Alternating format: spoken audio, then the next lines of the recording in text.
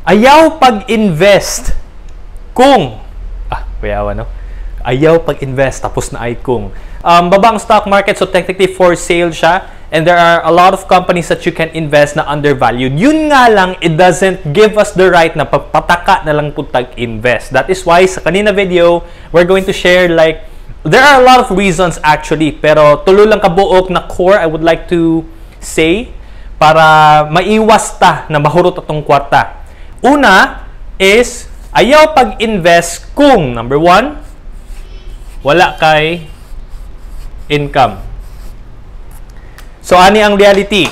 And most probably, if masig ikaw po na igo ka ni, because of companies are shutting down, because coronavirus situation, lockdown siya, ang nahulog man good is na mga companies na forced to like ipakuan sa ilang mga tao. Right? And that means na walay income madawat ang tao. In this case, if ikaw tong viewer, no income. In fact, dili lang ang empleyadong impacted, even ang employer because kung nag-shutdown ang business, walay customers. Kung walay customers, walay income, walay sales, walay revenue.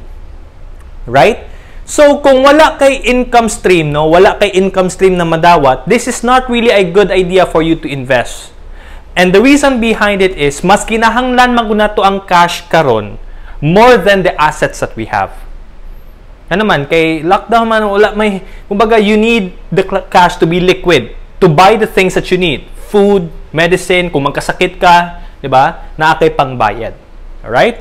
So, this is number one. Number two, ayaw pag-invest kung wala kay savings. Ang pasabot ko sa savings is really more about emergency funds, right? That is why importante na magkaroon kang emergency funds. Whatever ang expenses nimo on a monthly basis, you multiply that by 6. Ideally, that should be your emergency funds. Ang, ang punot dulo magud ana, in kaso wala kay income, na madawat within 6 months na akay savings, na akay kwarta na pwede nimo magamit para liquid gyapon ka, makalihok ka, dili ka matuok.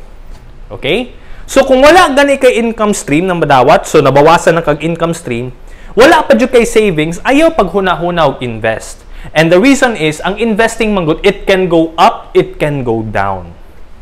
Alright? Which brings us to the last one na akong i-share no is what we call no knowledge.